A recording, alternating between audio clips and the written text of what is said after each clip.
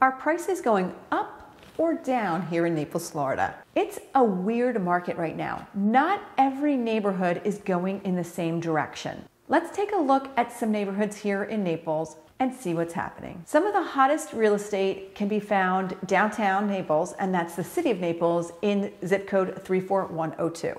Prices were up in this area 58% from March to April, and their home values over the last 12 months increased 36.5%. I'm Laurie Rose. I'm a real estate agent based here in Naples, Florida, and let's get into some more stats. Not all real estate prices along the beach were up. So if we go a little bit north into the 34108 zip code, they actually saw a decrease in their sales prices from March to April. They were down 30%. In that zip code 34108, you're going to find Pelican Bay, you're going to find Vanderbilt Beach, and so much more. And even though their sales prices were down a little bit from March to April, their home values increased 17.5% over the last 12 months. The next zip code we're going to look at is 34110.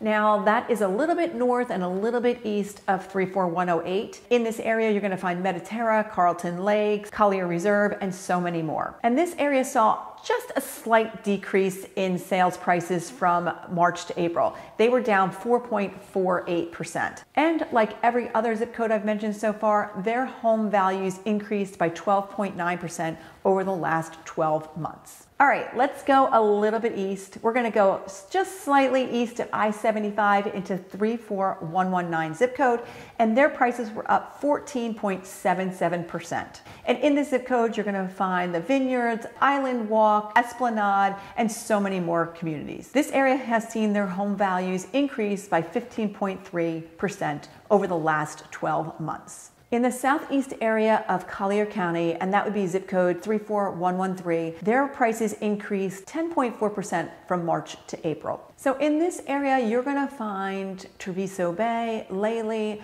Artesia, Isles of Capri, and so many more areas. And their home values also increased over the last 12 months. They went up 19.6%. Are you confused about where all these neighborhoods and zip codes are? Well, check out the link above and that will get you to a video that explains it all.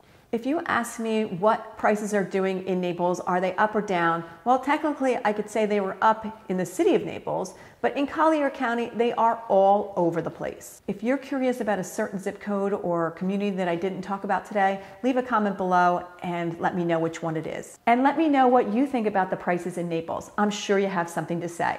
Well, that's it for me today. I'll see you next time. Bye.